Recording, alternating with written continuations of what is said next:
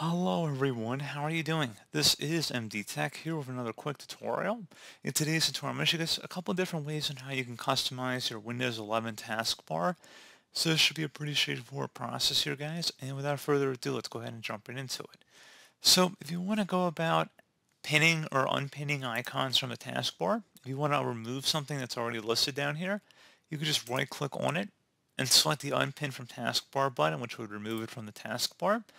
If you want to resort images or icons down here, you just drag it over. So you just hold down with your left mouse cursor. You can rearrange the order of the icons.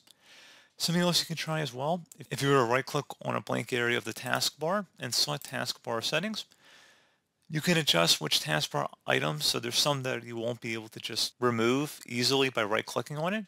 You'd have to go into here, such as removing the search button, task view, widgets, and chat icon. And if you scroll down here where it says taskbar behaviors, if you click on that, if you want to change the taskbar alignment to the left, as it has in earlier versions of Windows, you could do that just by selecting left. Or you could select center, like which is what the default setting is on Windows 11. And one final thing, if you wanted to pin a program or application to the taskbar, because I showed you guys how to remove it, I'm going to show you guys how to add one. So if you search for an application you want to add, so let's just say firewall, Windows Defender Firewall, you could right click on that and you could select pin to taskbar and there you have an icon down the taskbar.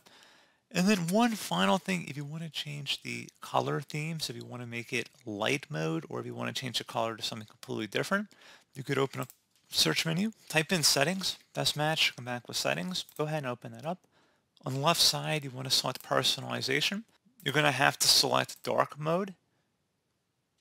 And then if you scroll down underneath accent color, you can select a custom color. And then where it says show accent color on start and taskbar, then you can turn it on. Because if the Windows mode is not set to dark, it won't let you change it. So if you had it just as light mode, it wouldn't give you the option. I believe you could still change your default app mode to light mode as long as the Windows mode is dark, you should be able to change the accent color. So pretty cool feature there, guys.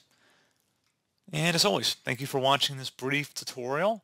Do to help you out, and I do look forward to catching you all in the next tutorial. Goodbye.